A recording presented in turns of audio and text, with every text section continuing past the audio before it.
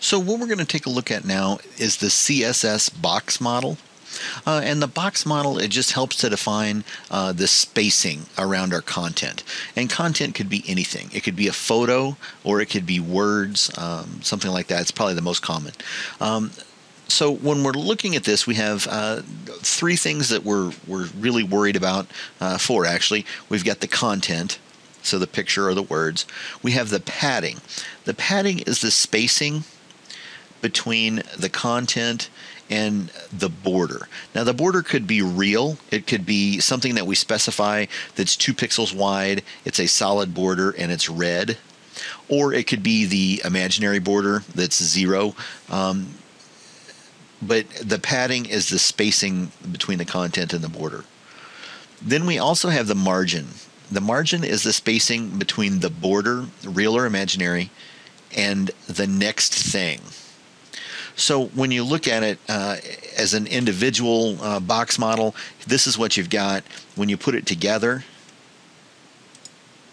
it could look something like this. So here we have a picture, a picture, a picture, and a picture. So four pictures. We have padding around each picture. We have a border around each picture, and we have margins around each picture. So if we were to, if if we were using some uh, imaginary numbers here, and we had um, a 10 pixel margin, uh, two pixel border, and 10 pixels of padding, we would have. Uh, if we were trying to figure out the width, it would be 10 plus 2 is 12, plus 10 is 22. The content, let's say that's 200 wide, so there's 222, 232, 234, 244.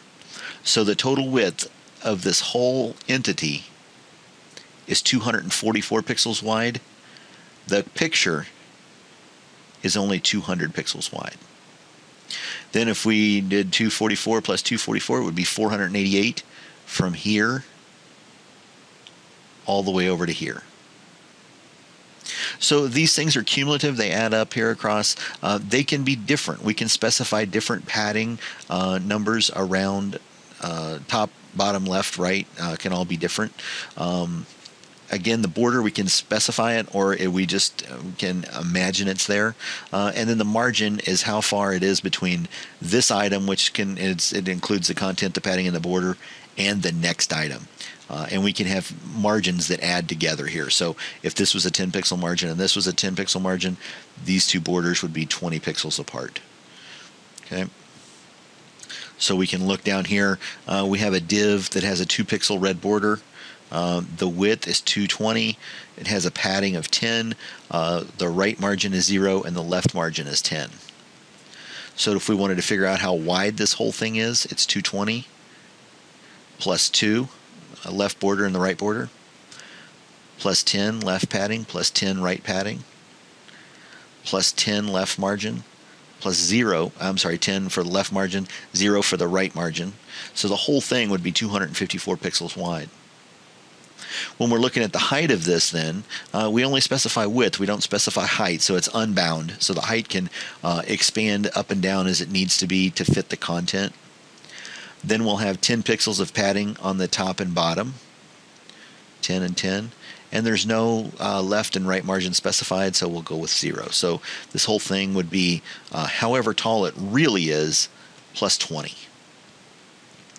Um, so we have different shorthand values that we can use for padding and margins. Um, most of the time, uh, it's easiest just to specify them. Uh, if you're going to use the same margin all the way around, you would use something like this, margin 25 pixels. Means that there's a 25 pixel margin on all four sides. So 25 top, 25 bottom, 25 left, 25 right. Uh, if you're not going to do that, the next easiest thing to do is probably to specify them individually. So we can have top and bottom at 100, left and right at 50 we could have uh, 0, 100, 10, 20. They could all be different uh, if we wanted them to be. But this, for human readability, uh, specifying them all out like this is probably the easiest thing to do. Now, there, this does take up a lot of extra typing, uh, and these are a lot of extra bits that might have to be sent over a mobile um, uh, network connection. So we could make this easier, by using some shorthand like this. Uh, in this case, when they're all four laid out, uh, we go top, right, bottom, left. Uh, so kind of work at a diamond starting at the top. Um, or uh, you, we can specify if the left and the right are going to be the same, uh, then they're in the middle. So um, if you get into this and you do this a lot, this will become second nature. Until then, you probably will have to look it up. Uh, if you're not uh, on something that's very uh, bandwidth sensitive, you probably are just going to spell it all out like this. So let's take a look at how we can actually use the box model. So here I have a picture. Uh, this is uh, Miners Castle in um, um, Pictured Rocks National Lakeshore up on Lake Superior. And then I've got some dummy text. Um, I would like to bring this text up so that it, it uh, comes up here towards the top. So let's start getting into some of the editing here. Um, I'm calling an external style sheet. So I'm going to put all my um, my modifications and my formatting in an external style sheet. Uh, I've opened the body. Uh, the body needs to be uh, in XHTML. Everything needs to be contained within a block element. So I'm going to use um, a div. I'm going to open a div and close a div right with the body uh, to contain everything. And now that I've got everything contained, I can start to add my uh, my photos and my my text. So here I've put uh, this particular photo of Miner's Castle. I've put within another div that div is using a class. The class name is image. Uh, and then I've got five paragraphs of dummy text down here.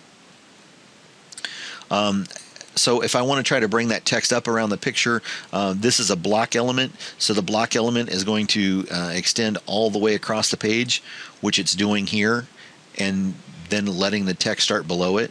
Uh, if I want to modify that, I'm going to float. I'm going to do a float left.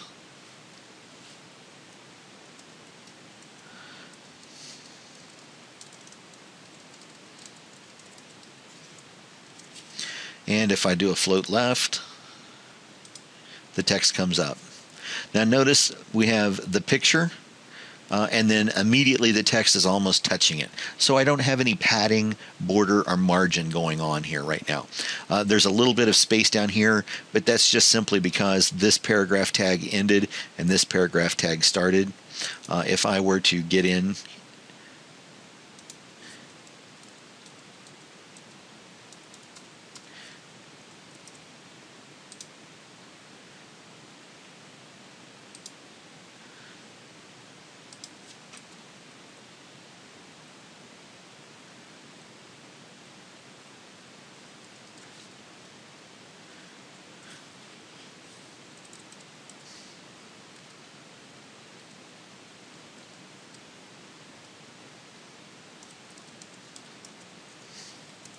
Here I've run a bunch of the text together.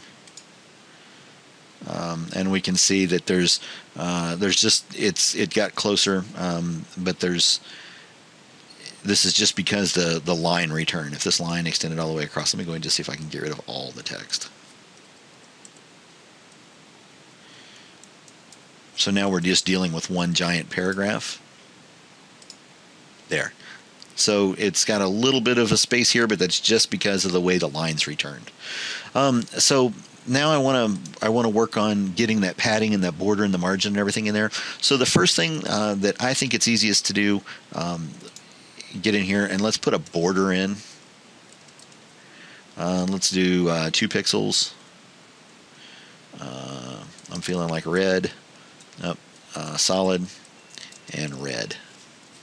Now when we do that, we should see a border appear around the photo, which we do. Uh, there's a little bit of spacing there for whatever reason. Uh, it might be just because of the way the, the line spacing is. So we got the border. So now let's put a little padding in there just to space that picture away from that border a little bit. And let's go with the 10 pixel padding. Now we should see space appear between the photo and the red and we do. This should be 10 pixels all the way around. Looks a little more on the bottom. I still think that has something to do with this uh, formatting. But so now we have our content, we have our padding, we have our border, but we don't have a margin. And that text is all the way over touching that border. It's very hard to read. So let's stick a margin in there. And let's do a 10 pixel margin.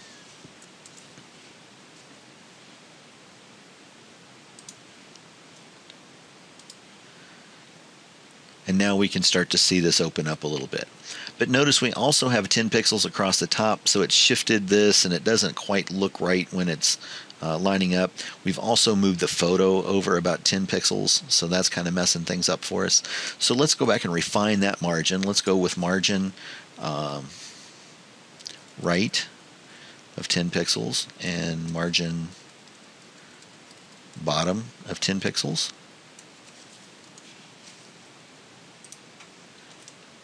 And when we do that, we should see the photo shift up and we should see it shift left and kind of get more, more back in line.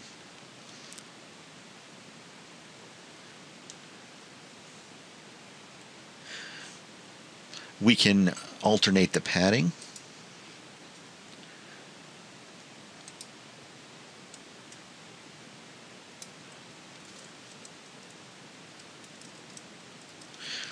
So we can have padding top, left, right,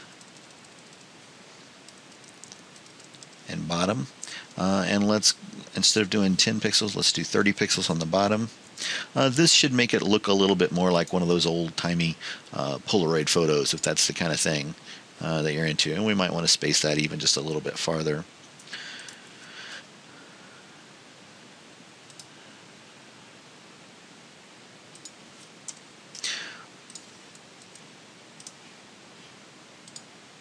Okay. The other thing um, that I just happened to think of, naming this um, image uh, is kind of confusing uh, because there's also an HTML element named image. So let's call this uh, photo. And so we'll have to change it in the box model.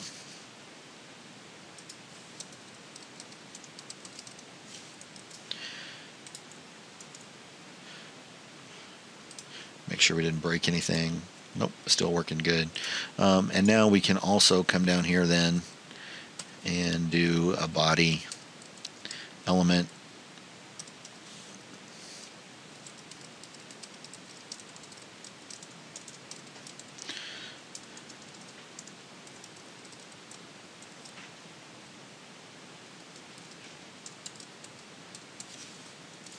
Um, we can put a background color here.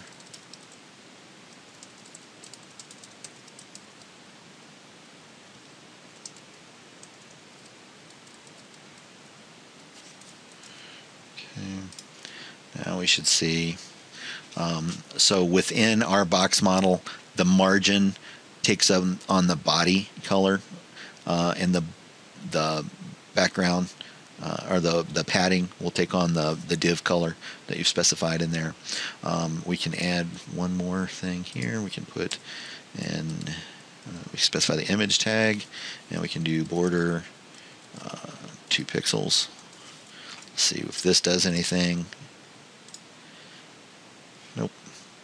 Uh, so we would have to dig a little deeper into our CSS to figure out how to actually put a border around the image.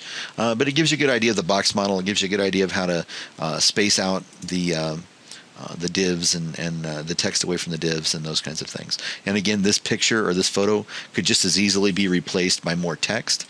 Um, let's see if we can just do that real quickly. copy this. So let's get rid of the image. And we'll just stick a little text in there.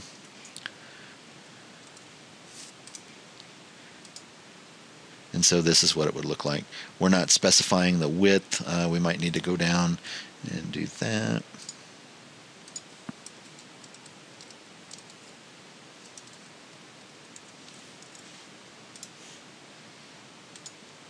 There we go.